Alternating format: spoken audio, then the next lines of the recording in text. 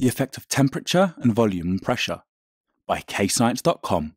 These are gas particles at 22 degrees Celsius.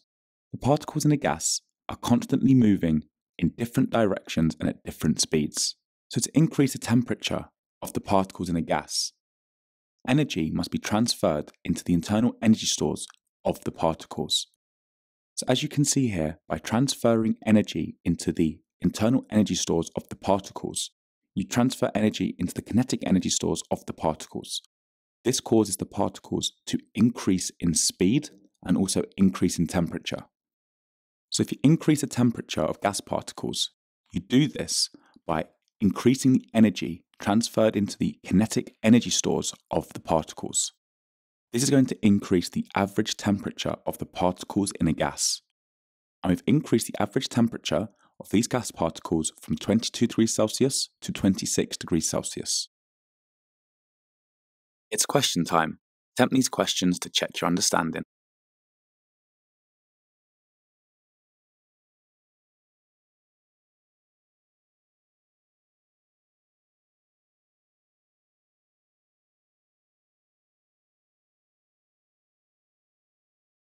This is a gas inside a sealed container. As you can see here, the gas is moving inside the sealed container. And I've shown it change direction. This can only happen if it collides with another particle. This gas particle has now collided with the surface of the sealed container. And when a particle collides with the surface, it's going to exert a force.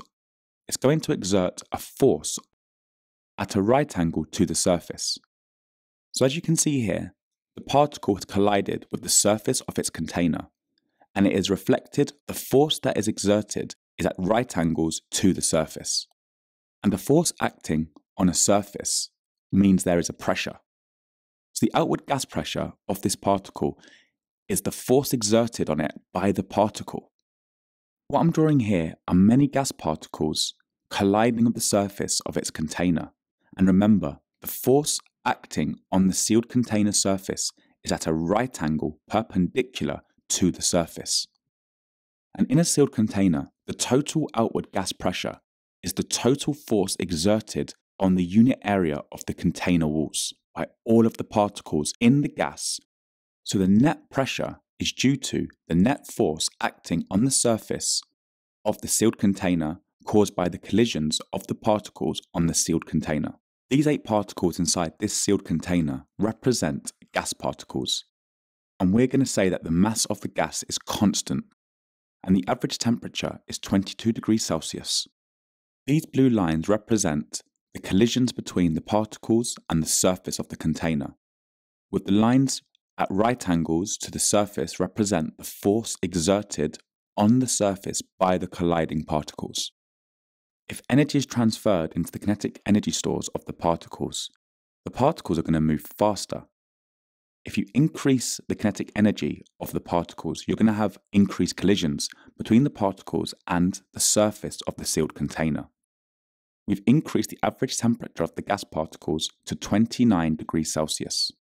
So the mass of the gas is constant and the volume of the container is constant. So the average temperature of the gas particles was increased from 22 degrees Celsius to 29 degrees Celsius. So there was an increased energy transfer into the kinetic energy store of the particles, which then increased the collisions between the particles and the surface walls of the container. Because there are now more collisions between the particles and the walls of the surface, there is now a larger net force acting on the surface. So if the net force acting on the surface increases, but the volume of the container does not change, there's going to be an increase in pressure acting on the surface of the sealed container. It's question time. Attempt these questions to check your understanding.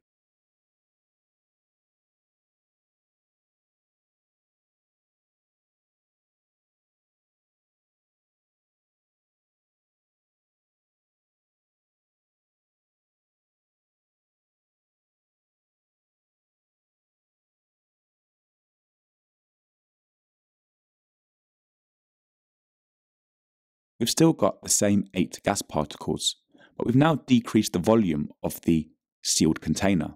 This here is a sealed container with a lower volume than the previous sealed container. We've still got the same number of particles.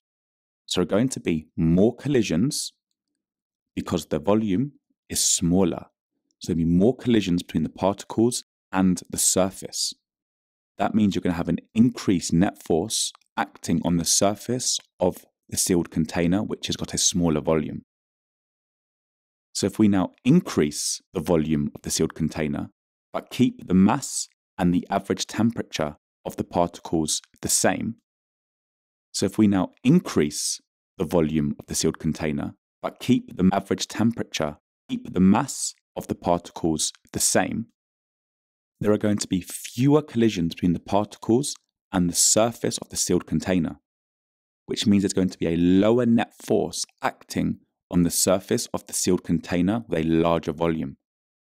So remember, this sealed container has a lower volume, which means there are going to be more collisions between the particles and the surface of the sealed container. So if there are increased collisions with the wall of the surface of the sealed container, that's going to lead to an increased net force, which is going to lead to an increased pressure acting on the surface of the sealed container. Whereas in this sealed container, we've increased the volume, but we've kept the mass of the particles and the temperature of the particles the same.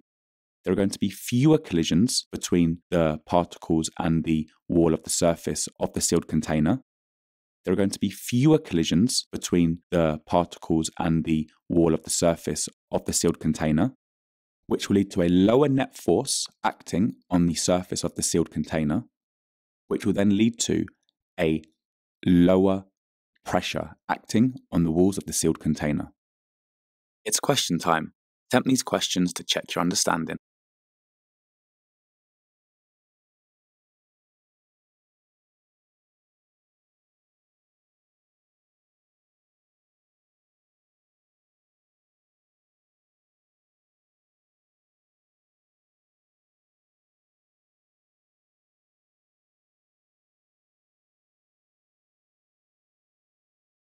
Press pause to practice using those key words.